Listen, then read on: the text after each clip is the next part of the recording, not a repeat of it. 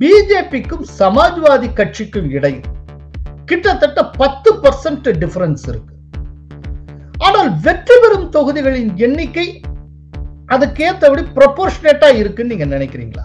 இதுல வந்து fundamental error இருக்குங்கிறது அனைவரும் நான் மட்டும் இல்ல அனைத்து செஃபாலஜிஸ்டும் கூறக்கூடிய விஷயம். யூபியில இந்த தடவை பிஜேபி எத்தனை சீட் வரைக்கும் ஜெயிக்கும்னு ஒரு ஒரு குத்து மதிப்பு ஒரு ஐடியா இன்றைக்கு இருக்கிற நிலைமையில இருநூத்தி எழுபத்தஞ்சு சார் இருநூத்தி டூ செவன்டி ஃபைவ் சென்ற மாதம் இந்த இன்டர்வியூ நடந்தது. அவர் வந்து கார்ல போயிட்டு இருக்கும்போது தான் ஜன்கி பாத்துக்கு இன்டர்வியூ கொடுத்தாரு. அவர் வந்து இந்த எங்களோட ஒப்பீனியன் போல பார்த்துட்டு அவர் சொன்னது என்னன்னா உங்களுக்கு தெரிஞ்ச விஷயம் எங்க காங்கிரஸ் கட்சியில தெரிய மாட்டேங்குது. இத போய் காங்கிரஸ். கட்சியில இருக்கிறது யார்? தலைவர்கிட்ட போய் சொல்லுங்க நீங்க அப்படின்னாரு. கிங் மேக்கராக அகாலி தளம் வருமா? ஹண்ட்ரட் பர்சன்ட் வரும் சார் அதுதான் அவங்க பாதல் இன்னைக்கு ட்ரை பண்ணிட்டு இருக்காங்க. இந்த இந்த எலெக்ஷன்ல தான் நான் காங்கிரஸோட டெசிமேஷனை பார்க்க போறோம் கோவால. சென்ற முறை கூட கோவால சிங்கிள் லார்ஜஸ்ட் பார்ட்டியா காங்கிரஸ் தான் வந்து. ஆனா இன்றைக்கு சிங்கிள் டிஜிட்டுக்கு வந்து நிக்கு ஆனால் சிறுபான்மையினர் இவ்வளவு அதிகமாக இருக்கக்கூடிய ஸ்டேட்ல முன்னை காட்டிலும் இன்னும் பிரமாதமா பிஜேபி பெர்ஃபார்ம் பண்ணும்னு சர்வே முடிவுகள் சொல்லுகின்றன. இது என்ன ஐரணி ஸ்ரீராம்? சார் ஐரணியே இல்ல சார் இது வந்து ஒரு கட்டுக்கதை தான். ரெண்டாயிரத்தி இருபத்தி நாலு மக்களவை தேர்தலுக்கான ஒரு முன்னோட்டமாக ஒரு ட்ரெய்லரா நம்ம பார்க்க முடியுமா? இதுதான் என்னுடைய. கடைசி கேள்வி. கண்டிப்பா. உத்தரப்பிரதேசம் ஒரு கண்டிப்பான ஒரு trailer sir Kolahalas TV YouTube channel இது வாய்மையின் எக்காலம். வணக்கம் நண்பர்களே. அடுத்த ஆண்டு தொடக்கத்தில் நடைபெற இருக்கக்கூடிய ஐந்து மாநில சட்டப்பேரவை தேர்தல்கள் குறித்து கடந்த வெள்ளிக்கிழமை ஏபிபி சி ஓட்டர்ஸ் கருத்து கணிப்பு முடிவுகள் வெளியிடப்பட்டன. அது குறித்த என் பார்வையை நேற்றைய காணொளியில் நான் வெளியிட்டிருந்தேன். அது வந்து ஐந்தில் நான்கு பாஜக வெற்றி என்கிற தலைப்பில் வெளியானது. நீங்கள் பார்த்திருக்க வாய்ப்பு உண்டு. அதே சர்வே பற்றிய கூடுதல் இன்டர்பிரிட்டேஷன்ஸ் விளக்கங்களை நேயர்களுக்கு தர ஜன்கி பாத் கருத்து கணிப்பியல் நிபுணரான ஜேவிசி ஸ்ரீராம் ஹைதராபாத்திலிருந்து காணொளி மூலம் இணைகிறார். அவர் ஏற்கனவே ஜன் கி பாத்ல இருந்திருக்கிறார் அப்படிங்கிறதுனால அவருக்கு ஒரு டெக்னிக்கல் இன்சைட் இருக்கும். சோ ஒரு அரசியல் ரீதியான புரிதல் அதோட மட்டுமில்லாமல் ஒரு டெக்னிக்கலாவும் சில ஆஸ்பெக்ட்ஸை அவர் நிச்சயம் பார்ப்பார். அதுவும் நம்ம நேயர்களுக்கு போயாக வேண்டும் என்கிற காரணத்திற்காக ஜெய் ஸ்ரீ ஸ்ரீராம் அவர்களை நாம் அழைத்திருக்கிறோம். அந்த அழைப்பின் பேரில் அவர் காணொளி மூலம் இப்போது இணைந்திருக்கிறார். வணக்கம் ஸ்ரீராம். வணக்கம் சார். வணக்கம். அதாவது சர்வே முடிவுகள் நீங்க பார்த்திருப்பீங்கன்னு நினைக்கிறேன். நிச்சயமா. அந்த சர்வே முடிவுகள் பற்றி நாம மாநில வாரியா அதாவது யூபி உத்தரகண்ட் ஒவ்வொன்றும் ஸ்டேட் வைஸா நம்ம அனலைஸ் பண்ண போறோம். பட் அதுக்கு முன்னால ஓவராலா இந்த சர்வே பத்தின உங்களுடைய பாயிண்ட் ஆஃப் வியூ என்ன? ரொம்ப ஷார்ட்டா சொல்லுங்க. அதான் சார் இது பாயிண்ட் ஆஃப் வியூனா இது வந்து பிஜேபிக்கு வந்து கொஞ்சம் சந்தோஷப்படுத்தக்கூடிய விஷயமா தான் இருக்கும். ஏன்னா ஐந்துல நாலுல வெற்றி பெறுறாங்க. அதே மாதிரி வந்து அதாவது அவர்களுடைய முக்கியமான விஷயம் என்னன்னா வந்து இந்த நாலு இடத்துலயும் வந்து அவர்கள் ஆட்சி புரியுறாங்க. உத்தரப்பிரதேசம் சரி உத்தரகாண்டும் சரி கோவாவும் சரி மணிப்பூரும் சரி நாலு இடத்துலயும் ஆட்சி புரியுறாங்க. இப்ப இருக்கிற இந்த ஆன்டி இன்கம்பன்சி அந்த மாதிரியான விஷயங்கள்லாம் இல்லாம அதையும் மீறி இதை வந்து ஜெயிக்க போறாங்கிறது மிகவும் வரவேற்கத்தக்க விஷயம். அதே மாதிரி உள்ளூர் மாநிலத்துல வந்து தோற்கிறதா இருந்தா கூட வந்து அதாவது தேர்தலுக்காக இயங்கக்கூடிய கட்சி அப்படிங்கிற மாதிரிலாம் வந்து குற்றச்சாட்டு பல பேர் வச்சிருக்காங்க பாரதிய ஜனதா கட்சி மேல. அவர்கள் அந்த மாதிரி இல்லவே இல்லைங்கிறது வந்து அந்த மாதிரியான ஒரு பர்செப்ஷனை வந்து கம்ப்ளீட்டா பிரேக் பண்ற மாதிரி என்ன பண்றாங்கன்னா எங்களுக்கு தேர்தல் வெற்றிக்கும் தேர்தல் தோல்விக்கும் எங்களுடைய நிலைப்பாட்டுக்கும் எங்களுடைய கொள்கைக்கும் சம்பந்தம் கிடையாது. ஏன்னா நாட்டினுடைய நலத்திற்காக இந்த வேளாண்மை திட்டம் மூணு திட்டத்தை கொண்டு வந்தமே தவிர அதனால ஒரு மாநிலத்துல நாங்க தோல்வி அடைஞ்சா கூட எங்களுக்கு அதை பத்தி கவலை கிடையாது. நாட்டின் நலன் தான் முக்கியம் விவசாயிகளின் நலன் தான் முக்கியம் அப்படின்னு ப்ரொசீட் பண்ணி ஒரு தைரியமான ஒரு மெசேஜ் வந்து இது அமைச்சிருக்கு. அப்படிதான் நான் பாக்குறேன் அதான் நீங்க நீங்க சொல்றது வந்து அந்த இடத்துல பஞ்சாபை மீன் பண்ணி நீங்க சொல்றீங்க. ஆனால் நம்ம ஒண்ணு நேயர்கள் புரிதலுக்காக ஒரு விஷயத்தை நம்ம தெளிவுபடுத்தணும். பஞ்சாப் என்பது எப்போதுமே பிஜேபியின் கோட்டையாக இருந்ததே கிடையாது. அதாவது ரொம்ப கேரளால ஈவன் ஆந்திர பிரதேசத்துல என்ன லெவல்ல ஒரு பிஜேபி இருக்கோ அந்த லெவல்ல தான் பஞ்சாப்லயும் இது வரைக்கும் இருந்திருக்கிறது. சென்ற தேர்தலில் கூட பஞ்சாப்ல மூணே மூணு சீட் தான் பிஜேபி ஜெயித்து இருந்தது. சோ இதை இது பற்றி நம்ம எல்லாத்தையுமே வந்து பஞ்சாப் பத்தி அலசுறப்போ நம்ம பார்க்கத்தான் போகிறோம். இப்ப ஃபர்ஸ்ட் யூபிக்கு போகலாம் ஸ்ரீராம். யூபியில் இருக்கக்கூடிய மொத்த தொகுதிகள் நானூத்தி மூணு. பெரும்பான்மைக்கு இருநூற்றி இரண்டு வேணும். இப்போ இந்த ஏபிபி சி ஓட்டர்ஸ் சர்வே என்ன சொல்லியிருக்கு அப்படின்னா பிஜேபிக்கு இருநூற்றி பதிமூணுல இருந்து இருநூத்தி இருபத்தோரு தொகுதிகள் வரை கிடைக்கும். Forty point seven percent score பண்ணும். சமாஜ்வாதி கட்சி நூற்றி ஐம்பத்தி இரண்டுல இருந்து நூத்தி அறுபது சீட் வரை பெறும். முப்பத்தி ஒன்னு புள்ளி ஒரு சதவீதத்தை அந்த கட்சி ஸ்கோர் பண்ணும். மாயாவதியுடைய பகுஜன் சமாஜ் பார்ட்டி பதினாறுல இருந்து இருபது தொகுதிகள் வெல்லும். பதினைந்து புள்ளி ஒரு சதவீத வாக்குகளை அள்ளும். காங்கிரஸ் ஆறுல இருந்து பத்து சீட்டு ஜெயிக்கும். Eight point nine percent score பண்ணும் அப்படின்னு இந்த சர்வே சொல்லுகிறது. இதுல என்ன அப்படின்னாக்க ஒரு அடிப்படையான விஷயம். பிஜேபிக்கும் சமாஜ்வாதி கட்சிக்கும் இடையில் கிட்டத்தட்ட பத்து பர்சன்ட் டிஃபரன்ஸ் இருக்கு. ஆனால் வெற்றி பெறும் தொகுதிகளின் எண்ணிக்கை அதுக்கேற்றபடி ப்ரொபோர்ஷனேட்டா இருக்குன்னு நீங்க நினைக்கிறீங்களா? இல்ல சார் கண்டிப்பாக இல்ல. இதுக்கு முன்னாடி நான் வந்து இன்னும் போறதுக்கு விரும்புறேன். முப்பத்தி ஒன்பது புள்ளி மூணு பர்சன்டோ ஏழு பர்சன்டோ தான் ரெண்டாயிரத்தி பதினேழுல வந்து பாரதிய ஜனதா கட்சிக்கு பெற்றது. அதை பெற்று கூட 312 seat முன்னூத்தி. பன்னெண்டு சீட்டு ஜெயிச்சாங்க. முன்னூத்தி பன்னெண்டு சீட்டு ஜெயிச்சாங்க. இன்றைக்கு வந்து இவர்கள் கூறுவது என்னன்னா வந்து நாற்பது புள்ளி ஏழு பர்சன்ட் வாக்குகள் ஜாஸ்தி ஆகுது. ஆனா சீட்டு நூறு சீட்டு குறையுதுன்னா ஆல்மோஸ்ட் தொண்ணூறு நூறு சீட் குறையுதுன்றாங்க. இது ஓட் வர்சஸ் சீட் கம் இப்ப செஃபாலஜிஸ்ட் எப்போதுமே இருக்கிற ஒரு நைட் மேர்னு சொல்லக்கூடிய விஷயம் எல்லாருக்குமே வந்து இந்த ஓட்டிங் பர்சன்டேஜையும் சீட் கன்வர்ஷனா போடுறதுங்கிறது வந்து ஒரு பெரிய ஒரு விஷயம். இதுல வந்து பல செஃபாலஜிஸ்ட் வந்து தெரிஞ்சு தப்பு பண்ணுவாங்க. சில சமயம் நிறைய விஷயத்த தெரியாமையே தப்பாயிடும். எரர் மார்ஜின் வந்து ரொம்ப ஜாஸ்தியாகும். இப்ப நம்ம பார்க்க வேண்டிய விஷயம் என்னன்னா செப்டம்பர் மாதத்துல நாற்பத்தி ஒன்று புள்ளி எட்டு இருக்கு. பாரதிய ஜனதா கட்சிக்கு ஆதரவு. நவம்பர் இதே மாதம் A- இதே ஏபிபி இதே. ஏபிபி தான். இதே ஏபிபி தான் வச்சு நான் பேசிக்கிட்டு இருக்கேன். நாற்பத்தி ஒன்று புள்ளி எட்டு இருக்கு. அது பாயிண்ட் ஐந்து சதவீதம் குறையுது அக்டோபர்ல. பாயிண்ட் ஐந்து சதவீதம் குறையும் போது பதினெட்டு சீட் அவங்களுக்கு குறையுது. நான் வந்து லோயர் எண்ட தான் நான் சொல்றேன். அப்பர் எண்ட நான் சொல்லல. ரெண்டாயிரத்தி ஐம்பத்தி சாரி இருநூத்தி ஐம்பத்தி ஒன்பதுல இருந்து இருநூத்தி நாற்பத்தி ஒண்ணு வருது. இது நாற்பத்தி ஒன்று புள்ளி மூன்றுல இருந்து நாற்பது. புள்ளி ஒரே ஒரு. நிமிஷம். நம்ம சொல்லு. புரிதலுக்கு கொஞ்சம் விளக்கமா சொல்லணும். கண்டிப்பா. செப்டம்பர்ல நாற்பத்தி ஒன்னு புள்ளி எவ்வளவு பர்சன்டேஜ் எட்டு எட்டு எட்டு சதவீதம். நாற்பத்தி ஒன்னு புள்ளி எட்டு பர்சன்ட் ஏபிபி சர்வேல சொல்லியிருக்காங்க செப்டம்பர்ல. அதே அந்த பர்சன்டேஜுக்கு அவங்க கொடுத்த ஃபிகர்ஸ் என்ன? Upper end uh- lower end இருநூத்தி அறுபத்தி 259 ஆமா இருநூத்தி ஐம்பத்தி ஒன்பதுல இருந்து இருநூத்தி அறுபத்தி ஏழு. இருநூத்தி அறுபத்தி ஏழு. அறுபத்தி ஏழு. இப்போ அதே நேரத்துல அக்டோபர்ல வர்றப்போ அது வந்து பாயிண்ட் எயிட் பர்சன்ட் குறையுதா? இல்ல பாயிண்ட் ஐந்து சதவீதம் குறையுது. பாயிண்ட் ஐந்து சதவீதம் குறைகிறது. ஆனால் அதே நேரத்தில் பாயிண்ட் ஐந்து சதவீதம் குறையுது. ஆனா சீட் எவ்வளவு குறைஞ்சிருக்கு? பதினெட்டு குறையுது. பதினெட்டு குறைகிறது. ஆனால் இப்போ இப்போ அட் பிரசன்ட் நவம்பர்ல எடுத்த சர்வேல நாற்பது புள்ளி ஏழு ஆறுது. அப்படின்னா அக்டோபருக்கும் நவம்பருக்கும் உள்ள வித்தியாசம் வந்து பாயிண்ட் செவன் பாயிண்ட் செவன் ஆனா. எவ்வளவு குறையுது? குறையறது வந்து பாத்தீங்கன்னா. ஆமா ஆமா இருபத்தி இருபத்தி எட்டு. இருபத்தி எட்டு குறையுது. Okay okay. சோ இது ஒரு முக்கியமான ஒரு விஷயத்தை நம்ம பார்க்க வேணும். அதே சமயத்துல சமாஜ்வாதி கட்சி இதுவும் பார்ப்போம். சமாஜ்வாதி கட்சி இது செப்டம்பர் மாசத்துல முப்பது புள்ளி இரண்டு இருந்தது. முப்பது புள்ளி. இரண்டுல இருந்தது அயர் எண்ட் வந்து நூத்தி பதினேழு. அக்டோபர்ல அது வந்து முப்பத்தி ரெண்டு புள்ளி நாலு ஆச்சு. ஹையர் எண்ட்ல வந்து இருபத்தோரு சீட்டு கெயின் பண்றாங்க. அது ஓகே. ஏன்னா ரெண்டு பர்சன்ட் உங்களுக்கு வந்து இரண்டு விழுக்காடு உங்களுக்கு ஆதரவு பெருகும் போது உங்களுக்கு வந்து இருபது சீட்டு வருதுங்கிறது வந்து நான் வந்து அதை வந்து தப்பா எடுத்துக்க மாட்டேன். ஆனா நவம்பர் மாசம் அதே ஃபிகர் தான் இருக்கு. முப்பத்தி ரெண்டு புள்ளி நான்கு தான் அப்படியே நிக்குது. ஆனால் அவர்கள் இருபத்தி ரெண்டு சீட் இன்னும் ஜாஸ்தி ஜெயிக்கிறாங்க அக்டோபரை விட. அது எப்படிங்க? அது நடக்கவே நடக்காதுங்க. நடக்க முடியாத விஷயம் அது. அதாவது நீங்க சொல்றது அக்டோபருக்கும் நவம்பருக்கும் பெரிய வித்தியாசம் இல்லைங்கிறீங்க ஒரு? வித்தியாசமே இல்ல. ஜீரோ வித்தியாசம். அவர்களோட. அவர்களோட அவர்களுடைய ஃபிகர்ஸ் வச்சுட்டே நான் பேசுறேன் நான். ஓகே. அது வந்து ஜீரோ வித்தியாசங்கிறீங்க. ஆமா. ஆனா அதே நேரத்துல இருபத்தி ரெண்டு சீட்டு முன்னை காட்டிலும் கூடுதலாக பெற்றிருக்கிறது. ஆமா ஆமா ஆமா. இது வந்து தெர் இஸ் அ டெஃபினட்டா வந்து ஒரு பிழை இருக்கிறது. அதாவது எந்த அதாவது இதுல வந்து நீங்க எல்லா செஃபாலஜிஸ்டையும் காலையில இருந்து நாங்க பேசிட்டு தான் இருக்கோம்.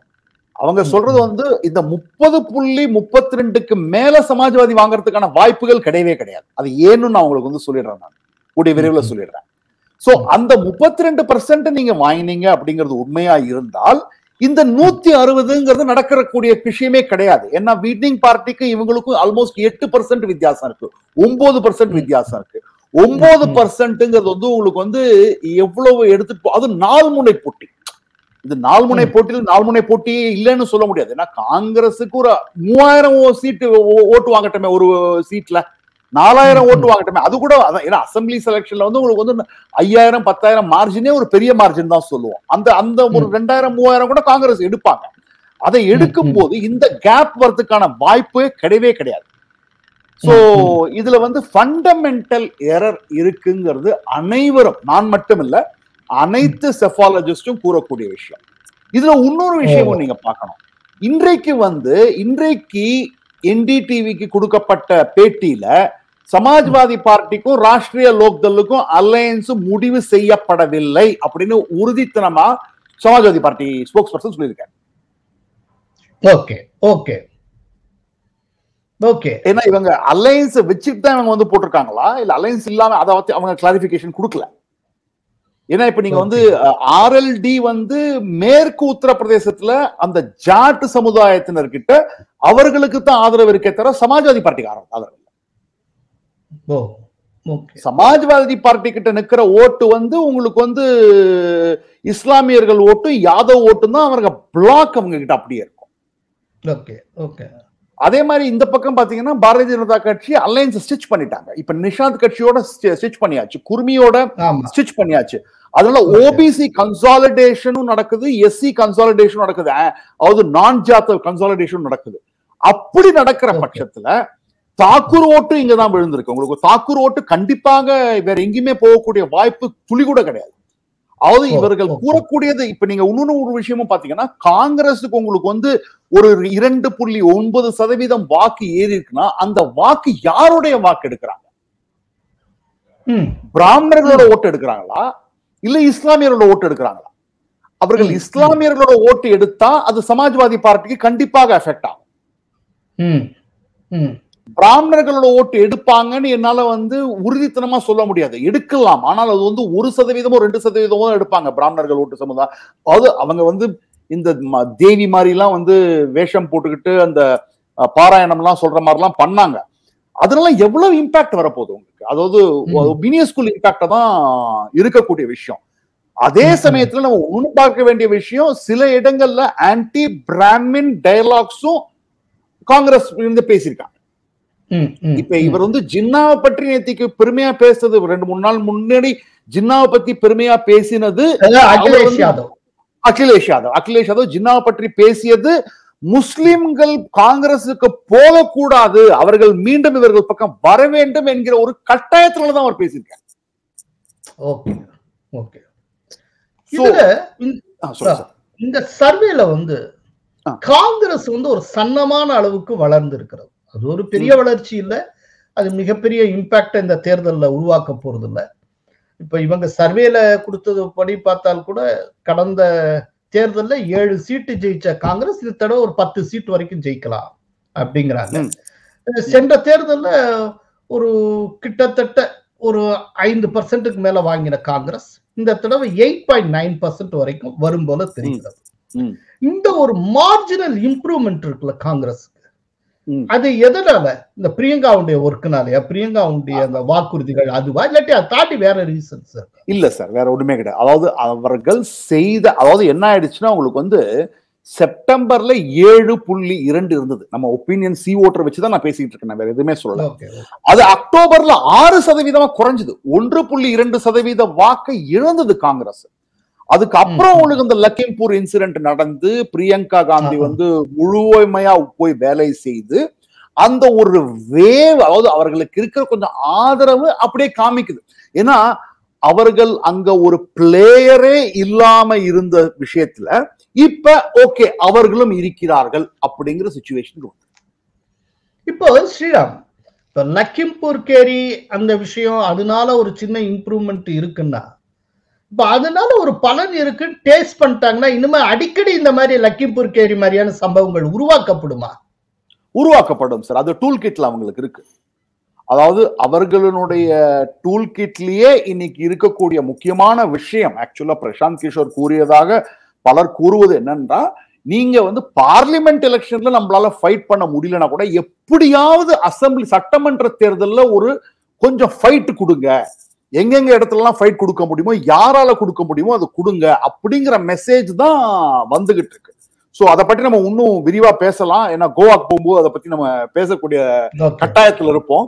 ஓகே சோ அது இருக்கு. ஆனாலும் இது வந்து இந்த டிவிடெண்ட் அவ்வளவா வராது சார். என்னன்னா இப்ப வந்து எலெக்ஷனுக்கும் இப்பைக்கும் உங்களுக்கு நாலு மாசம் இருக்கு. காங்கிரஸ் இந்த மாதிரி நிறைய இடங்கள்ல இந்த மாதிரி ட்ரை பண்ணிருக்காங்க. அவர்களுக்கு இருக்கிற உண்மை என்ன விஷயம்னா இது இதையும் வந்து பிரசாந்த் கிஷோர் சொல்லியிருக்காரு. அது நீங்க ஒரு லக்கிம்பூர் இன்சிடென்ட் நடந்தது அப்படிங்கறதுனால உங்களுக்கு வந்து பெருசா ஒண்ணும் வளரும் அப்படின்னு நினைச்சீங்கன்னா அதை விட முட்டாள்தனம் வேற எதுவுமே இருக்க முடியாது. ஏன்னா உங்ககிட்ட ஆர்கனைசேஷன் கிடையாது பூத் ஒர்க்கர் கிடையாது கட்சியோட கொடியை எடுத்துட்டு போறதுக்கு ஆள் கிடையாது. மேபி உங்களுக்கு சப்போர்ட் இருந்தா கூட அந்த சப்போர்ட் வாக்கா மாறாதுன்னு சொல்லிட்டு பிரசாந்த் கிஷோர் சொல்லியிருக்காரு. இல்ல இப்போ யூபியை பொறுத்தளவுல ஏபிபி அவங்களுடைய கணக்குல ஒரு பக்கம் இருக்கட்டும். உங்களுக்குன்னு ஒரு மனக்கணக்கு இருக்கும்ல. உங்களுடைய ஒரு ஒரு ஒரு ஐடியா படி உங்க யுவர் ஓன் கால்குலேஷன்ஸ். யூபியில இந்த தடவை பிஜேபி எத்தனை சீட் வரைக்கும் ஜெயிக்கும்னு ஒரு ஒரு குத்து மதிப்பா ஒரு ஐடியா இன்றைக்கு இருக்கிற நிலைமையில இருநூத்தி எழுபத்தஞ்சு சார் இருநூத்தி seventy five two seventy five நான் எதற்காக சொல்றேன் அப்படின்னா ஒரு anti incumbency against local MLA இருக்கு. அது. இல்லைன்னு கூற முடியாது. அதனால எம்எல்ஏ செலெக்ஷன் பண்ணும் போதுதான் அதாவது கண்டிப்பாக அவர் கொடுக்க மாட்டார் அப்படின்னு சொல்லிட்டு சில பேருக்கு வந்து சொல்லியிருக்காரு ஒரு மெசேஜும் வந்திருக்கு அது நிறைய இடத்துல. உத்தரகாண்ட்லயும் சரி யூபிலையும் சரி. சிட்டிங் எம்எல்ஏவை டிராப் பண்ண போறதா நியூஸ் வந்துகிட்டு இருக்கு. சோ அந்த கேண்டிடேட் செலெக்ஷனுக்கு அப்புறம் தான் நம்ம வந்து ஒரு கிளியர் கட் ஃபிகர் சொல்ல முடியும். ஆனா இன்றைக்கு இருக்கிற ஏற்கனவே குஜராத்ல அதுக்கு ஒரு ரிகர்சல் பார்த்துட்டாங்க. குஜராத்ல வந்து கம்ப்ளீட் மினிஸ்ட்ரியா ஓவரால் பண்ணி பாத்தீங்கன்னா குஜராத்ல எல்லாமே புதுசு தானே? ஆமா ஆமா ஆமா. குஜராத். இப்போ அதே இது இவங்க எலெக்ஷனுக்கு வந்து கிட்டத்தட்ட புதியவர்களுக்கு எம்எல்ஏ வாய்ப்பு கொடுக்கறதுக்கு வாய்ப்பு இருக்கு. வாய்ப்புகள் ரொம்ப இருக்கு. வாய்ப்புகள் இருக்கு. ஏன்னா அது வந்து நான் உத்தரகாண்ட் போகும்போது என்கிட்ட சர்வே ஒன்று வச்சுக்கிட்டு இருக்கோம் நாங்க. ஜன் கி பாத் சர்வே அதுல இருந்தே நான் உங்களுக்கு எடுத்து நான் உங்களுக்கு வந்து நான் சொல்றேன் நான். எதற்காக அவர்கள் எம்எல்ஏ மாத்த போறாங்கிறத. இப்ப நம்ம உத்தரகண்ட் தான் போக போறோம். உத்தரகண்ட்ல மொத்த தொகுதிகள் எழுபது. பெரும்பான்மைக்கு முப்பத்தி ஆறு பெற வேண்டும். பிஜேபிக்கு முப்பத்தி ஆறுல இருந்து நாற்பது சீட் வரைக்கும் கிடைக்கும் என்று தெரிகிறது. அதாவது பிஜேபி அந்த லோயர் இதுவே வந்து மெஜாரிட்டியா இருக்கு தேர்ட்டி சிக்ஸ் அப்பர் வந்து நாற்பது நாற்பது வரைக்கும் ஜெயிக்கும். அவங்க வாங்கக்கூடிய பர்சன்டேஜ் ஆஃப் ஓட்டு வந்து forty one point four percent காங்கிரஸ்க்கு முப்பதுல இருந்து முப்பத்தி நாலு சீட்டு கிடைக்கும். பர்சன்டேஜ் வந்து முப்பத்தி ஆறு புள்ளி மூணு சதவிகிதம். ஆம் ஆத்மிக்கு எதுவும் கிடைக்காது. ஜீரோ ஆனால் பதினொன்னு புள்ளி எட்டு சதவீத வாக்குகளை ஆம் ஆத்மி பெறும். இப்போ ஸ்ரீராம் ஆம் ஆத்மி ஜெயிக்காது அப்படின்னாலும் கூட அது பெறக்கூடிய ஓட்ஸ் வந்து லெவன் பாயிண்ட் எயிட் பர்சன்ட் அப்படிங்கிறது ஒரு ஹியூஜ் ஒரு ஓட் ஷேர். இப்போ இந்த விதமா அது வாங்குவது யாருக்கு நஷ்டம் யாருக்கு லாபம் காங்கிரஸுக்கு நஷ்டம்? ஏன்னா அவர்களுடைய ஆன்டி இன்கம்பன்ஸ் இதுல வந்து நான் இதுக்கு நான் காரணம் நான் சொல்லிடுறேன் சார் உங்களுக்கு வந்து அதாவது என்ன கே என்ன கேள்வி கேட்டு என்ன இது நாங்க பண்ண சர்வே ஜன் கி பாத்ல பண்ண சர்வே. அதுக்காக நான் சொல்றோம் is there anti incumbency against the party in power. இருக்கக்கூடிய ஆட்சியின் மீது அந்த கட்சியின் மீது உங்களுக்கு அதிருப்தி இருக்கிறதா? ஆம் முப்பத்தி இரண்டு சதவீதம். இல்லை ஐம்பத்தைந்து சதவீதம். தெரியாது பதிமூன்று பர்சன்ட் சதவீதம். இரண்டாவது அதிருப்தி எம்எல்ஏக்கள் மீது இருக்கிறதா? சோ முதல்ல சொன்னதுதான் நான் உங்ககிட்ட சொன்னேன். ஏன்னா வந்து இந்த anti incumbency against the party இல்ல. சோ அதனால இந்த ஆன்டி இன்கம்பன்சி ஓட் இருக்கிறது கொஞ்சம் கூட அது வந்து உங்களுக்கு ஆப்புக்கு போடுச்சுன்னா காங்கிரஸுக்கு தான் அது நஷ்டங்கிறது சொல்ல வர முதல்ல. இரண்டாவது விஷயம் is there anti incumbency against the MLA அறுபது சதவீதம் கூறியிருக்கிறார்கள் ஆம். நாற்பது சதவீதம் தான் இருபத்தஞ்சு சதவீதம் இருபத்தெட்டு சதவீதம் தான் இல்லைன்னு சொல்லியிருக்காங்க. அப்படிங்கறத நம்ம கிளியர் கட்டா உத்தரகாண்ட்ல தெரிய வருது என்னன்னா இங்க பிஜேபி மீது கோபமோ அதிருப்தியோ இல்லை. அப்படி எம்எல்ஏக்கள் மேல இருக்க. எம்எல்ஏக்கள் எம்எல்ஏக்கள் மேல இருக்கு. அந்த எம்எல்ஏக்கள் மேல இருக்கிற ஆன்டி இன்கம்பன்சிய திரு நரேந்திர மோடி அவர்கள் அதற்காகத்தான் நேஷனல் எக்ஸிகியூட்டிவ்ல கிளியர் கட்டா சொல்லியிருக்காருன்னு ஒரு பெரிய தலைவர் என்கிட்ட பாரதிய ஜனதா கட்சி தலைவர் சொன்னாரு. ரெண்டாயிரத்தி இருபத்தி நான்கு பாராளுமன்ற தேர்தலை நான் பார்த்துக் கொள்கிறேன். சட்டமன்ற தேர்தல்களை நீங்கள் பார்த்துக் கொள்ள வேண்டும். நீங்க போய் வேலை பண்ணி மக்களோட இருந்தீங்கன்னா தான் நடக்கும் அப்படின்னு ஓப்பனா திரு நரேந்திர மோடி அவர்கள் சொல்லியிருக்காரு. Okay okay. சோ ஏன்னா அவர்களுக்கும் தெரியுது இதுதான் இருக்குன்னு இப்போ எம்எல்ஏக்கள் மீதான அதிருப்தி கட்சியினுடைய வெற்றி வாய்ப்பை பாதிக்காமல் இருக்கணும்னா எம்எல்ஏக்களை மாத்தணும். புதியவர்களுக்கு வாய்ப்பு தரணும். அப்படின்னா அந்த டைரக்ஷனை நோக்கி போகும்னு நீங்க யூகிக்கிறீங்க இல்லையா? நூறு சதவீதம் சார் உத்தரகாண்டை பொறுத்த மட்டும் அப்படிதான் போக போகுது யூபியில அதுக்கான வேலைகள் ஆரம்பிச்சிருச்சு. உத்தரகாண்ட்ல அதுதான் போக போகுது. இதுல இன்னொன்னு என்னன்னா இந்த சர்வேயை பொறுத்த ஏபிபியை பொறுத்த அளவுல யூபிக்கு உத்தரகட்டுக்கு ஒரு சிம்ல இதுல வந்து சிமிலாரிட்டிஸ் இருக்கு. இந்த உத்தரகட்டிலேயே ஒவ்வொரு மாத சர்வேலையும் பிஜேபியுடைய வாக்கு சதவீதம் சரிந்து கொண்டே வருகிறது. அதுக்கு என்ன காரணம்? சார் அதாவது இங்க வந்து உங்களுக்கு காரணம்னு கேட்டீங்கன்னா வந்து ஒரு ஆட்சியில இருக்காங்க. அந்த anti incumbency against the MLA இருக்கிறது. அதுதான் உங்களுக்கு வந்து பிரதிபலிக்கிறது. இத வந்து உங்களுக்கு வந்து பாரதிய ஜனதா கட்சி வந்து கரெக்டா எம்எல்ஏவை சூட் பண்ணலன்னா ஏன்னா இதுல வந்து ஒரு பெரிய கேட்ச் இருக்கு. இந்த பன்னிரெண்டு சதவீதம் ஜன் கி பாத்லயும் பன்னெண்டு பர்சன்ட் தான் இருக்கு இங்கேயும் பதினோரு புள்ளி எட்டு பர்சன்ட் தான் இருக்கு. அதனால தான் நான் வந்து பன்னெண்டு சதவீதம் வச்சுக்கலாம். இந்த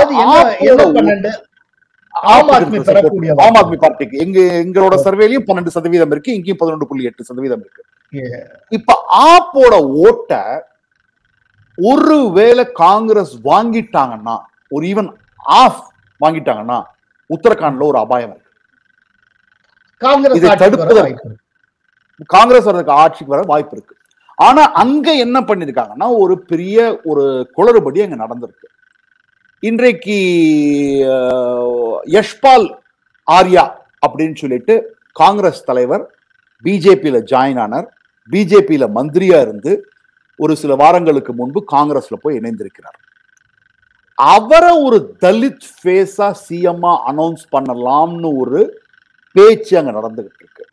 இருக்கிறதுலயே மோஸ்ட் பாப்புலரா இருக்கிறவர் ஹரீஷ் ராவத். இங்க இன்னொரு காரணமும் இருக்கு சார். இதுக்கு என்னன்னா தலித்தோட ஓட்டுகளை தலித் வந்து பதினேழு சதவீதம் இருக்காங்க உத்தரகாண்ட்ல. அதை நம்ம வந்து மறந்துடக்கூடாது. பதினேழு சதவீதம் தலித் இருக்காங்க. அவர் தலித்தோட ஓட்டுகளை காங்கிரஸ் வந்து வாங்குறாங்க.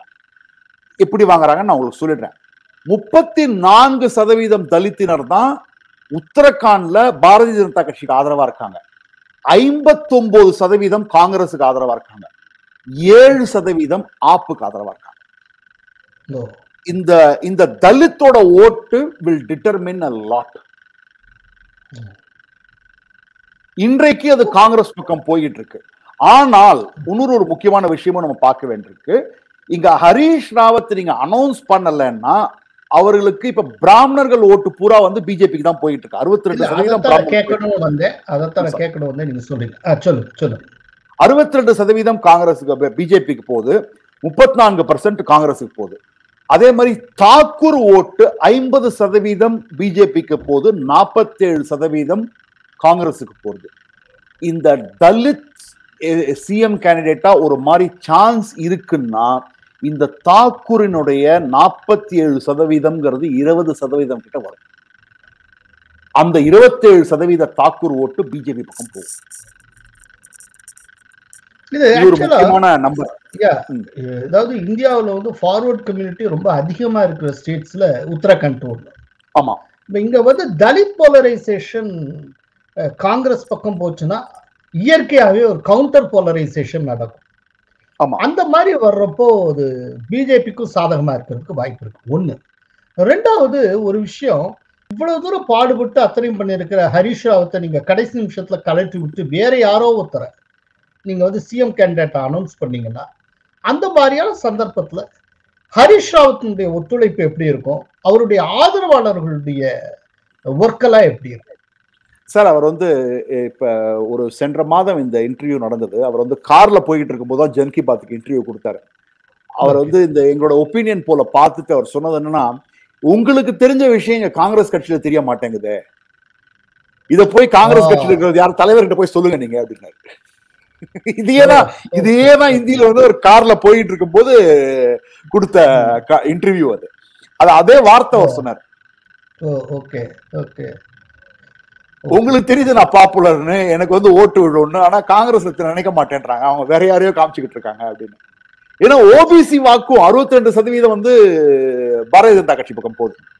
சோ இதுல இதுல நீங்க பாத்தீங்கன்னாலே அவங்க வந்து ஒரு தப்பான கால்குலேஷன்ல போய்கிட்டு இருக்காங்க உத்தரகாண்ட்ல. அதாவது ஜெயிக்கக்கூடிய மாநிலத்தை கையை விட்டு போய்கிட்டு இருக்கு. அதுதான் வந்து அந்த கன்ஃபியூஷன்ல ஆனா, போய்கிட்டு இருக்கு. இப்போ அண்மை காலமா இருக்கிற ட்ரெண்ட் படி பார்த்தா காங்கிரஸ் தலைமை கரெக்டா முடிவெடுத்தா தானே அது ஆச்சரியம். தப்பா முடிவெடுக்கிறது வந்து ரொம்ப இயல்பான ஒரு விஷயம் தானே சகஜமான விஷயம் ஆயிடுச்சு இப்ப அது. ஹரிஷ் ராவத்துக்கு புரியல? அதான் எனக்கு ரொம்ப ஆச்சரியமா இருக்கு ஆமா ஆமா. அவருக்கு அவர் அவர் வந்து அவர் வந்து சொல்லிட்டார் சார் என்ன பஞ்சாப்ல இருந்து ரிலீவ் பண்ணுங்க எனக்கு இங்க வேலை இருக்கு அப்படின்னு. அப்பயும் கேட்காம இன்னும் பஞ்சாப்ல உட்கார வச்சுக்கிட்டு இருக்காங்க. அதுல இருந்தும் தெரியுது எதுக்காக அந்த யஷ்பால் ஆர்யா. அதெல்லாம் வந்து வந்ததுக்காக. அப்படின்னா ஒருவேளை அவரை டம்ப் பண்றாங்களோ அவர் அநேகமா. இந்த தடவை சிஎம் கேண்டிடேட்டா இருக்க மாட்டார். இல்ல இல்ல சார் இல்ல இருக்க இருக்க போறது இல்ல. இப்ப இப்ப வரைக்கும் வந்து அவர் வந்து வடிவேலு ஒரு படத்துல சொன்ன மாதிரி அவங்கவங்க எடுக்கிற முடிவுலாம் நமக்கு சாதகமா இருக்குங்கிற மாதிரி. இப்ப இவர்கள் எடுக்கிற முடிவு பிஜேபிக்கு சாதகமாக இருக்கும் பிஜேபி சாதகமா இருக்கு. பிஜேபி சாதகமா இருக்கு. பஞ்சாப்ல இருக்கிற மொத்த தொகுதிகள் நூற்றி பதினேழு பெரும்பான்மைக்கு ஐம்பத்தொன்பது தொகுதிகள் வெல்ல வேண்டும். இதுல வந்து பாரம்பரியமா பஞ்சாப்ல எதிரும் புதிருமாக இருக்கக்கூடிய காங்கிரசும் அகாலி தளமும் இந்த தடவை பின்னுக்கு போகின்றன. ஆம் ஆத்மி முந்துகிறது. ஆம் ஆத்மிக்கு நாற்பத்தி ஏழுல இருந்து ஐம்பத்தி மூணு சீட் வரைக்கும் கிடைக்கும். முப்பத்தி ஆறரை சதவிகித வாக்குகளை அது பெறும் என்று இந்த சர்வே கூறுகிறது. காங்கிரசுக்கு நாற்பத்தி ரெண்டுல இருந்து ஐம்பது சீட்டும் முப்பத்தி நாலு புள்ளி ஒன்பது சதவீத வாக்குகளும் அக்காலி தளத்துக்கு பதினாறுல இருந்து இருபத்தி நான்கு தொகுதிகளும் இருபது புள்ளி ஆறு சதவீத வாக்குகளும் கிடைக்கும் என்று இந்த சர்வே கூறுகிறது. சென்ற முறை மூன்றே மூன்று சீட் மட்டுமே வெற்றி பெற்ற பிஜேபி இந்த முறை ஒரு சீட் ஜெயிக்கும். அதே நேரத்தில் சென்ற முறை ஐந்து சதவீதத்துக்கு மேல் வாக்குகளை பெற்ற பிஜேபிக்கு இந்த முறை ரெண்டு புள்ளி ரெண்டு சதவீத வாக்குகள் தான் கிடைக்கும் என்று இந்த சர்வே தெரிவிக்கிறது. ஸ்ரீராம் ஆம் ஆத்மி வந்து தனிப்பெரும் கட்சியாக வந்தாலும் ஆட்சியை பிடிக்காத போல தெரிகிறது. காங்கிரசுக்கும் மெஜாரிட்டி கிடைக்காதுன்னு தெளிவா தெரியுது. இப்படி ஒரு சுச்சுவேஷன் வந்து சிங்கிள் லார்ஜஸ்ட் பார்ட்டி தான் உண்டு. ஆனால் ஃபுல் மெஜாரிட்டி கிடைக்காதுங்கிற ஒரு ஒரு சூழ்நிலை உருவானால் கிங் மேக்கராக அகாலி தளம் வருமா? ஹண்ட்ரட் பர்சன்ட் வரும் சார் அதுதான் அவங்க பாதல் இன்னைக்கு ட்ரை பண்ணிட்டு இருக்காங்க. அவர்களுக்கு கிளியர் கட்டா தெரிஞ்சிருச்சு. அதாவது சன்னி பாப்புலாரிட்டி ஏறிக்கிட்டு இருக்கு. இதுதான் அங்கிருந்து வர கள களத்திலிருந்து வர நியூஸ் என்னன்னா eleven percent eleven point increase சென்னைக்கு இருக்கு. சித்துவுக்கு இருபது பர்சன்ட் இருபது பாயிண்ட் டிக்ரீஸ் சித்துங்க ஒருத்தர் பிளேயரே இல்லைங்கிறது முடிவாயிடுச்சு இப்ப. இந்த இந்த என்டையர் மூணு மாசத்துல நடந்த விஷயம் பாத்தீங்கன்னா இந்த செப்டம்பர் அக்டோபர் நவம்பர் நடந்தக்கூடிய விஷயம் என்னன்னு பாத்தீங்கன்னா சித்துங்கிறவர் ஒரு irrelevant பர்சன் ஐட்டர் இது ஒரு முக்கியமான விஷயம். இரண்டாவது விஷயம் முன்னாடி அரவிந்த் கெஜ்ரிவாலுக்கு இருந்த பாப்புலாரிட்டி அதாவது சிஎம் கேண்டிடேட் அரவிந்த் கெஜ்ரிவால் தான் கேட்டாங்க. இன்னைக்கு சன்னி அவரை விட லீட் எடுக்கிறார். அவரை மிந்து முந்துகிறார் சன்னி. இதை வந்து பாதல வந்து இது வந்து இன்றைக்கும் அவர்கள் இந்த சூழ்நிலையை அவர்களுடைய அட்வான்டேஜுக்கு யூஸ் பண்ணிக்க முடியல. அது மூன்றாவது முக்கியமான விஷயம்.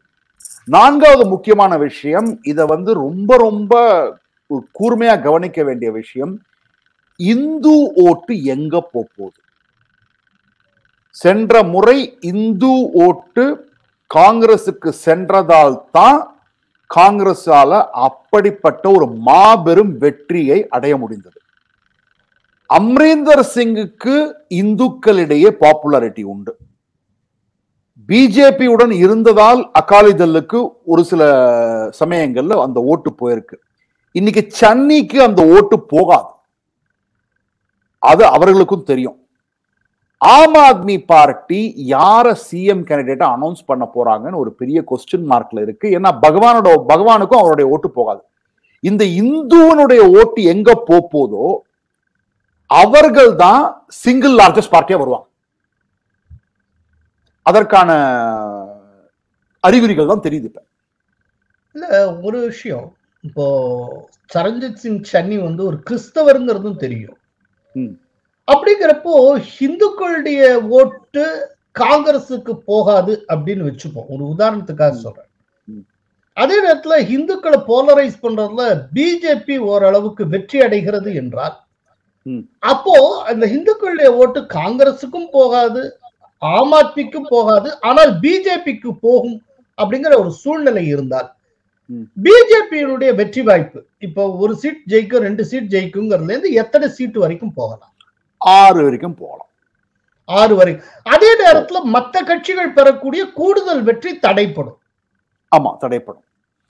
இதுல வந்து அம்ரீந்தர் சிங் வந்து ஒரு நல்ல கேண்டிடேட்ஸ் எல்லாம் போட்டாருன்னா அவரால ஒரு அந்த அந்த ஆறு சீட்டு பிஜேபிக்கு வரக்கூடிய ஆறு சீட் அவருக்கு போகலாம் ஏன்னா. இந்துக்களால் அக்செப்ட் பண்ணக்கூடிய லீடர் வந்து அமரீந்தர் சிங். சோ அப்படிப்பட்ட ஒரு சுச்சுவேஷன் தான் அமரீந்தர் சிங்கும் பாதலும் என்ன எதிர்பார்த்துக்கிட்டு இருக்காங்கன்னா அவங்க பார்க்கக்கூடிய விஷயம் இவர்கள் இருவருக்குமே மெஜாரிட்டி வராம ஆம் ஆத்மி பார்ட்டிக்கும் காங்கிரஸுக்கும் ஒருவேளை இவர்களுக்கு பா அகாலிதளுக்கு ஒரு இருபதுல இருந்து இருபத்தஞ்சு சீட்டு வந்து அமரீந்தர் சிங்குக்கு ஒரு பத்து கிட்ட வந்ததுன்னா ஏன்னா அமரீந்தர் சிங்க கவுண்டே பண்ணல. ஏன்னா அவர் இன்னும் களத்துல இறங்கி இன்னும் நிறைய ஃபுல்லா வந்து வேலை எல்லாம் பண்ணல வந்து அந்த சர்வேல சர்வேல அமரிந்தர் சிங்க பத்தி எந்த குறிப்புமே இல்ல. அது ஏன் நினைச்சேன். இல்ல அவர் வந்து இன்னும் வந்து அந்த களத்துல இறங்கி அதாவது கேண்டிடேட் எல்லாம் அனௌன்ஸ் பண்றதோ இல்ல அவருடைய ப்ரோக்ராம் என்னன்னு அனௌன்ஸ் பண்றதோ யாரோட பாரதிய ஜனதா கட்சியோட கூட்டணி வைக்க போறதா இல்லையா அதெல்லாம் எதுவுமே சொல்லாதனால அந்த விஷயத்தை அவங்க தொடலை. ஆனா இதுதான் வந்து உண்மையான நிலவரம் இப்ப. இப்ப என்னன்னா வந்து உங்களுக்கு வந்து இவர்கள் ராகுல் காந்தியும் பிரியங்கா காந்தியும் நினைச்ச மாதிரி சித்துவ பாப்புலாரிட்டி இருக்குமோன்னு நினைச்சவங்க இன்னைக்கு வந்து அவங்க வந்து கம்ப்ளீட்டா கான் அதாவது கண்ணை மூடிக்கிட்டு பிளைண்டா எடுத்த டிசிஷன் வந்து அவங்களுக்கு அவங்களே எதுக்காக எடுத்தோம்னு தெரியாத ஒரு டிசிஷன் வந்து அவங்களுக்கு ப்ராபப்ளி கொஞ்சம் உயிர் கொடுக்குது. இந்த சன்னிங்கிறவர் வந்து அவங்க வந்து ரொம்ப ஒரு கிளவரெல்லாம் ஒன்றும் எடுக்கல. யாரு யாருமே இங்க அதாவது ஆறு மாசம் சிஎம்மா இருக்கணும்னா அம்பிகா சோனியே வேண்டாம் அப்படின்ட்டாங்க அவங்க. நான் இருக்க மாட்டேன்னு. அதனால இவங்களை ஆக்கினாங்க. ஆக்கினவர் இப்ப பாப்புலர் ஆயிட்டார். ஏன்னா அவர் வந்து ஒரு சாதாரண மனுஷனா வந்துகிட்டு இருக்காரு. ஸோ இப்படிப்பட்ட சூழல் தான் போயிட்டு இருக்கு. இன்னும் நிறைய பேர் ஒன்னே ஒண்ணு சொல்றாங்க சார் ஆம் ஆத்மி பார்ட்டிக்கு இருக்கக்கூடிய ஆதரவை வாக்காக கன்வெர்ட் பண்ணுவதற்கு தவறுவார்கள் என்று அனைவரும் பொலிட்டிக்கல் கமெண்டேட்டர்ஸ் பார்த்துக்கிட்டு இருக்காங்க இதுதான் ரெண்டாயிரத்தி அந்த மாதிரி ஒரு மிஸ்டேக் பண்ணுங்கிறாங்களா ஆமா. மிஸ்டேக்னா அவங்க கிட்ட இல்ல சார் சி அதாவது பஞ்சாப்ல வந்து மசில் பவர் வந்து வெரி வெரி இம்பார்ட்டன்ட் பூத் லெவல்ல ஹேண்டில் பண்றதுக்கு அந்த மசில் பவர் வந்து பாதல் அகாலிதள் கிட்ட இருக்கிற மசில் பவரோ இல்ல காங்கிரஸ் கிட்ட இருக்கிற மசில் பவரோ ஆம் ஆத்மி பார்ட்டி கிட்ட கிடையவே கிடையாது. இல்லவும் இல்ல. இந்த வாட்டி அவர்களுக்கு ஃபண்ட்ஸ் இப்போ சென்ற முறையே நம்ம கூறியிருக்கோம் அவங்களுக்கு பணமும் அந்த அளவுக்கு வந்து இந்த ஃபார்மர் ப்ரொட்டஸ்ட் புரோக்கர் ப்ரொட்டஸ்ட் போயிடுச்சு. அவங்களுக்கு அந்த அளவுக்கு வரல. சோ இது இரண்டும் காரணம். அதாவது ஒரு சில டயத்துல என்ன ஆயிடுது சார்? ஆம் ஆத்மி பார்ட்டி வந்து அப்படின்னு அப்படியே ஈக்குவலா வச்சுக்காதீங்க. பட் யோசிச்சு பாருங்க அந்த சுச்சுவேஷன்ல நாம் தமிழர் கட்சி மாதிரி பஞ்சாப்ல. வாக்கு வாங்குவாங்க. ஆனா அது வந்து சீட்டாவும் கன்வெர்ட் ஆவாங்க. ஆனா இன்னும் ஆட்சி வர அளவுக்கு அவங்க வரலங்கிறது தான் நிறைய மக்களினுடைய கணிப்பு. இப்போ ஜே ஸ்ரீராம் இப்ப கோவாவுக்கு போகலாம். கோவாவை பொறுத்தளவில் எப்படி அப்படின்னா மொத்த தொகுதி நாற்பது. பெரும்பான்மைக்கு இருபத்தோரு தொகுதியில ஜெயிக்கணும். பிஜேபி பத்தொன்பதிலிருந்து இருபத்தி மூணு தொகுதி வரை வெற்றி பெறும் என்று இந்த சர்வே கூறுகிறது.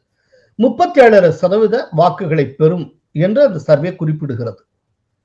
காங்கிரஸ் கட்சி ரொம்ப ஒரு பேத்தட்டிக்கா இருக்கு.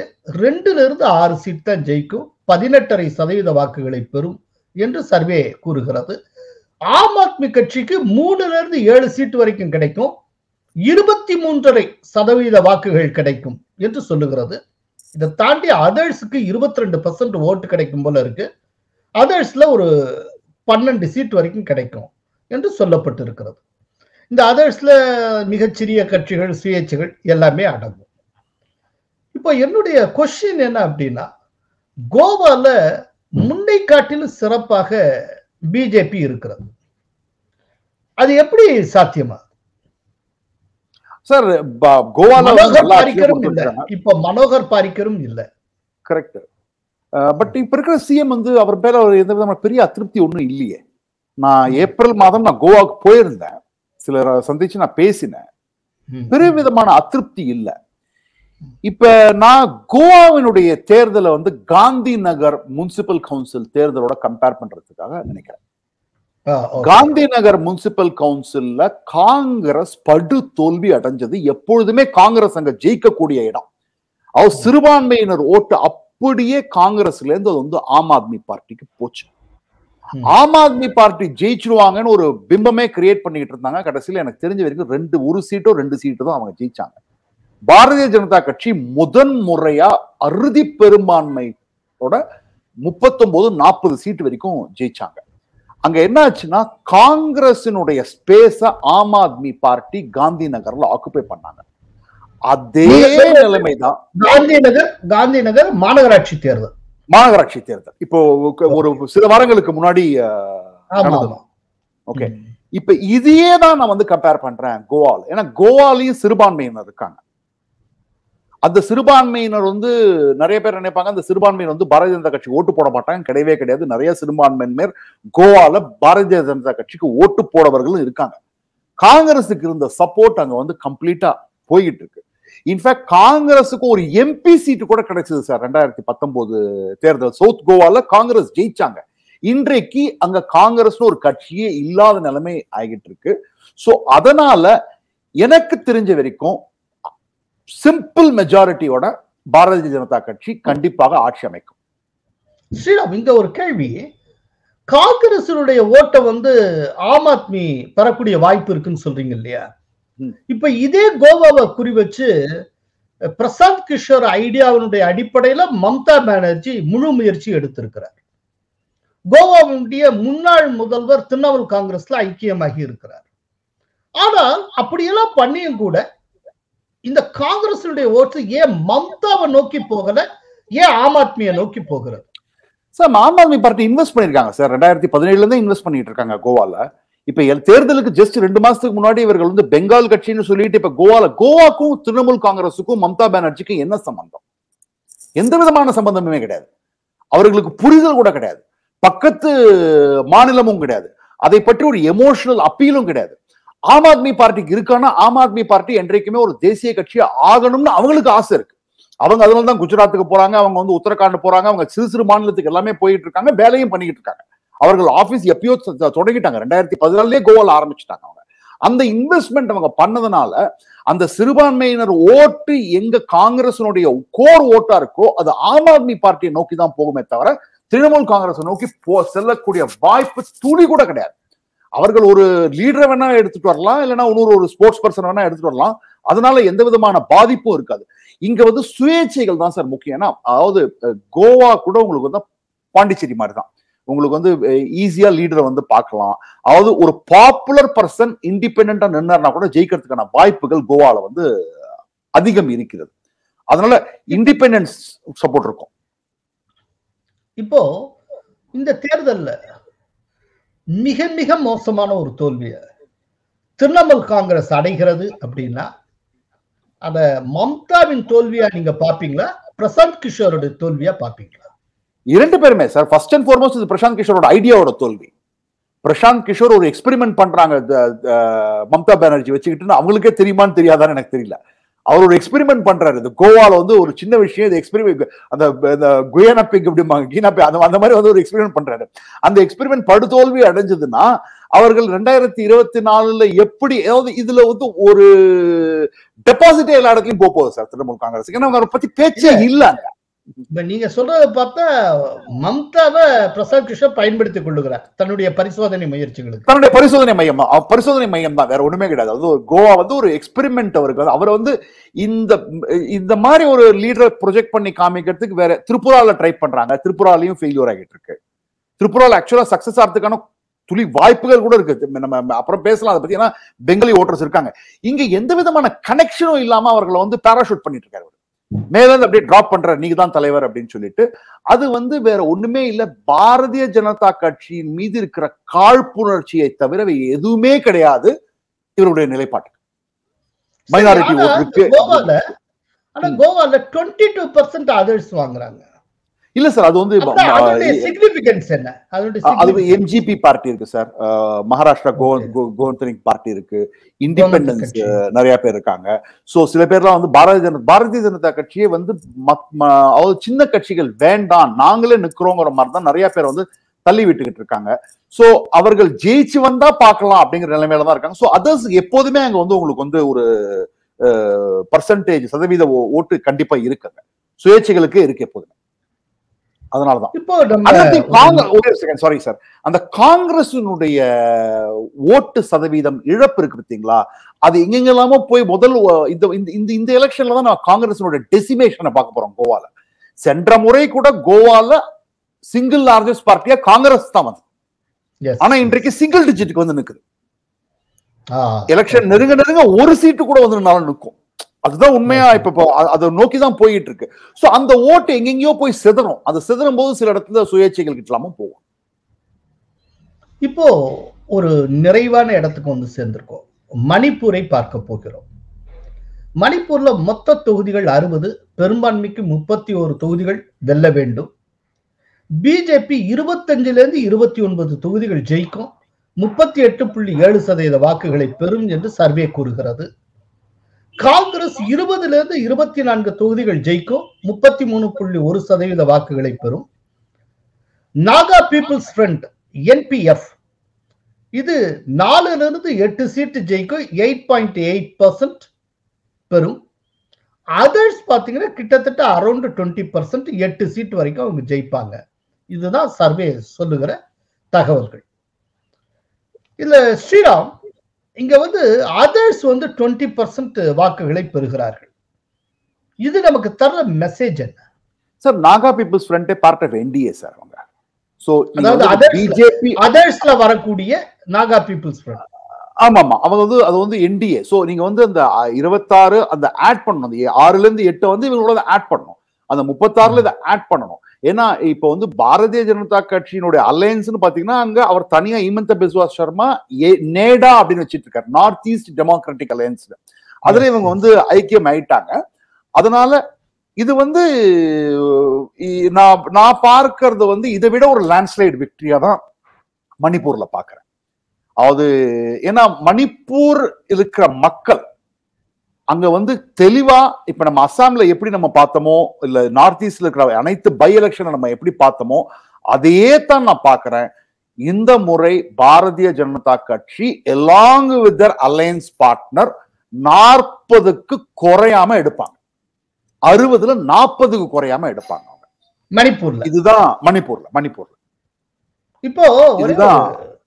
ஒரு- ஒரு இம்பார்ட்டன்ட் டேக்அவேல இருந்து நம்ம பார்க்க வேண்டியிருக்கு கோவாலையும் போன தடவை காட்டிலும் ட்ரமண்டஸா பிஜேபி பெர்ஃபார்ம் பண்ணும்னு இந்த சர்வே சொல்லுகிறது. கண்டிப்பா. மணிப்பூர்லயும் முன்ன காட்டிலும் சிறப்பாக பெர்ஃபார்ம் பண்ணும்னு இந்த சர்வே சொல்லுகிறது.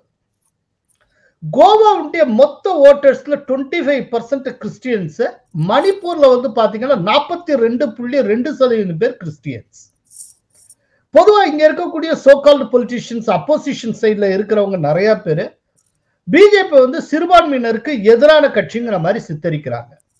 ஆனால் சிறுபான்மையினர் இவ்வளவு அதிகமாக இருக்கக்கூடிய ஸ்டேட்ல முன்னை காட்டிலும் இன்னும் பிரமாதமா பிஜேபி பெர்ஃபார்ம் பண்ணும்னு சர்வே முடிவுகள் சொல்லுகின்றன. இது என்ன ஐரணி ஸ்ரீராம்? சார் ஐரனியே இல்ல சார் இது வந்து ஒரு கட்டுக்கதை தான். இவங்க வந்து. ஃபுல் அண்ட் ஃபுல் இவங்க வந்து மைனாரிட்டி அதாவது மைனாரிட்டி மேல வச்சு வாக்கு வங்கியா அவங்கள ட்ரீட் பண்ணி பண்ணதுதான் இவங்கெல்லாம். நான் யாருன்னு நான் பேர் சொல்ல விரும்பல. கோவா இருக்கட்டும் மணிப்பூரா இருக்கட்டும். சப்கா சாத் சப்கா விகாஸ் சப்கா விஸ்வாஸ்னு டெவலப்மெண்ட்டை காமிச்சு கூட்டுக்கக்கூடிய இடத்துல இன்னைக்கு பாரதிய ஜனதா கட்சியும் திரு நரேந்திர மோடி அவர்களும் இருக்கிறதுனால கண்டிப்பாக சிறுபான்மையினர் இருக்கும் இடத்துல அவர்களிடம் கேட்டா நாங்க வந்து பாரதிய ஜனதா கட்சி ஓட்டு போடுறோம் சிறுபான்மையினரா பத்தி அந்த மெஜாரிட்டியில இருக்கிறவர்கள் சில இந்துக்களே பாரதிய ஜனதா கட்சிக்கு எதிராக செயல்படுறவர்கள் இந்த இந்து இந்த பாரதிய ஜனதா கட்சி என்னமோ சிறுபான்மையினருக்கு எதிரான கட்சி ஒரு பிம்பத்தை தான் கிரியேட் பண்ணிருக்காங்க அவங்க எல்லாம் டெல்லியில தான் உட்காந்துட்டு இருக்காங்க. இந்த நியூஸ் சேனல்ல உட்காந்து நியூட்டன்ஸ் மீடியா சோகால் நியூட்டன்ஸ் மீடியாவோட நரேட்டிவ் அப்படிதான் நான் பார்க்குறேன். ஏன்னா கோவாலையும் அப்படிதான் நம்ம பார்க்க போறோம். இதுலயும் மணிப்பூர்லயும் பார்க்க போறோம். ஸோ அதுதான் very clear message from this selection இப்போ அடுத்த ஆண்டு இந்த அஞ்சு மாநிலங்கள் தவிர அடுத்த ஆண்டு டெய்ல் எண்ட்ல ஹிமாச்சல் பிரதேஷ் குஜராத் வேற இருக்கு. அதுக்கு இனிமேல் தான் சர்வே வரும். அதை அப்ப நம்ம உட்கார்ந்து அலச முடியும்னு நினைக்கிறேன். பட் இந்த ஐந்து மாநில தேர்தல் முடிவுகள் அப்படிங்கிறத ரெண்டாயிரத்தி இருபத்தி நாலு மக்களவை தேர்தலுக்கான ஒரு முன்னோட்டமாக ஒரு ட்ரெய்லரா நம்ம பார்க்க முடியுமா? இதுதான் என்னுடைய. கடைசி கேள்வி. கண்டிப்பா. உத்தரப்பிரதேசம் ஒரு கண்டிப்பான ஒரு ட்ரெய்லர் சார் நான் வந்து என்னுடைய நிலைப்பாடு ஒன்னே ஒண்ணுதான். உத்தரப்பிரதேசத்துல முன்னூறு சீட்டுக்கு மேல பாரதிய ஜனதா கட்சி ஜெயிச்சிருச்சுன்னா எதிர்கட்சிகளோட நிலைப்பாடு எப்படி இருக்கும்னு சொல்லவே முடியாது. அவர்கள் நிறைய டூல் கிட்ல இருந்து கண்ணா பின்னான்னு அவங்க ரிலீஸ் பண்ண ஆரம்பிப்பாங்க. இருநூத்தி ஐம்பதுக்கு சீட்டுக்கு குறைந்து பாரதிய ஜனதா கட்சி ஜெயிக்கணும்னு தான் இன்றைக்கு எதிர்க்கட்சிகளும் பிரசாந்த் கிஷோரும் மறைமுகமா வேண்டிக்கிட்டு இருக்கிறது. ஏன்னா அந்த 250 கீழே வந்ததுன்னா அப்படியே நீங்க கால்குலேட் பண்ணிடலாம். 50 சீட்ஸ் இன்னைக்கு இருக்கிற பார்லிமெண்டரி சீட்ஸ் இன்னைக்கு இருக்கிறது பாத்தீங்கன்னா முந்நூறு seat is equal to six hundred sixty seats அறுபது அசம்பிளி பார்லிமெண்டரி சீட்டு முந்நூறு அசம்பிளி சீட்டு இருநூத்தி எழுபத்தஞ்சுக்கு மேல போனாலே it is a clear and decisive mandate in favour of Thiru Narendra Modi. Sir இதுல வந்து முக்கியமான விஷயம் நம்ம பார்க்கணும் சார். உத்தரகாண்டும் சரி யூபியும் சரி. இது வரைக்கும் திரு. நரேந்திர மோடி அவருடைய தேர்தல் பிரச்சாரத்தை தொடங்கவே இல்லை. இந்த இரண்டு மாநிலத்திலையும் அவர் கால் பட்டுதுன்னா ஒரு மூணு பர்சன்ட் ஏறும். இன்னும் அதே போல அமித்ஷா யாருமே இன்னும் ரொம்ப யாருமே இல்ல, முக்கியமான யாரும் தா- ஏறும், யாருமே ஏறும். உள்ள போகலையே. இல்ல. இல்ல. இன்னும் ஸ்டார்டே பண்ணலையே. ஸ்டார்ட்டே பண்ணல. இது ஸ்டார்ட் பண்றதுக்கு முன்னாடியே அவங்க வந்து நாற்பது பர்சன்ட்டுக்கு மேல ரெண்டாயிரத்தி பதினேழை விட ஜாஸ்தி. நீங்க வந்து நம்ம இத வந்து நான் வந்து உங்களுடைய வாசகர் எல்லாருக்குமே சொல்ல விரும்புறேன் நானு. நீங்க ரொம்ப முக்கியமான அப்சர்வேஷன் ரெண்டாயிரத்தி பதினேழுல முப்பத்தி ஒன்பதரை பர்சன்ட் என்னமோ ஆனா இப்ப வந்து நாற்பது புள்ளி ஏழு சதவிகிதம் ஏழு சதவீதம். ஏழு நாற்பது புள்ளி ஏழு சதவீதம். நாற்பது புள்ளி ஏழு சதவீதம் நிஷாத் பார்ட்டியோட அப்னா தல்லோட அலையன்ஸ் ஃபார்ம் பண்ணியாச்சு. அதாவது இங்க வந்து இங்க வந்து தேர்தலை சந்திக்கிறதுக்கு ரெடியா இருக்கக்கூடியது பாரதிய ஜனதா கட்சியும் தோழமை கட்சிகளும். அதனாலதான் நீங்க அதனாலதான் ஆரம்பத்திலே ஒரு கேள்வி எழுப்பினீங்க. முப்பத்தி ஒன்பதரை பர்சன்ட் வாங்கிய முன்னூத்தி பன்னிரெண்டு சீட்டு போன தடவை ஜெயிச்சிருக்கிறப்ப இப்ப நாற்பது புள்ளி ஏழு சதவீதம் வாங்கிட்டு ஆனா இருநூத்தி பதிமூணு இருநூத்தி இருபது சீட் தான் ஜெயிப்பாங்கன்னா அது எப்படி சரி? சோ கால்குலேஷன்ல மிஸ்டேக் இருக்கு. ஏதோ ஒரு பெரிய பிளண்டர் நடந்திருக்கு நீங்க அப்ப சொன்னீங்க. கணக்கில் கொள்ள வேண்டி இருக்கிறது அதாவது இன்னைக்கும் நான் சொல்றேன் இந்த முப்பத்தொன்பதுல இருந்து நாற்பது பர்சன்ட்டுக்கு மேலதான் கண்டிப்பா ஜெயிக்க போறாங்க. இந்த நாற்பது பர்சன்ட்லயும் முன்னூத்தி பதிமூணு டச் பண்ணலாம் பட் ஏன் டச் பண்ண மாட்டாங்கன்னு நான் நினைக்கிறேன்னா நான் இருநூத்தி எழுபத்தஞ்சு நீங்க சொல்ற காரணம் அந்த local anti incumbency against MLA அதுவும் சில எம்எல்ஏ எல்லாம் மாத்தியாச்சுன்னா களம் கண்டிப்பா மாறும். ஓகே ஸ்ரீராம். இந்த சர்வே பற்றி நிறைய இன்புட்ஸ் குறிப்பா டெக்னிக்கலாகவும் நிறைய விஷயங்களை நீங்க நேயர்களுக்கு தந்திருக்கிறீர்கள். வந்து கலந்து கொண்டமைக்கு நன்றி. நன்றி ஸ்ரீராம். மிக்க நன்றி sir. Kolahalas TV YouTube channel இது வாய்மையின் எக்காலம்.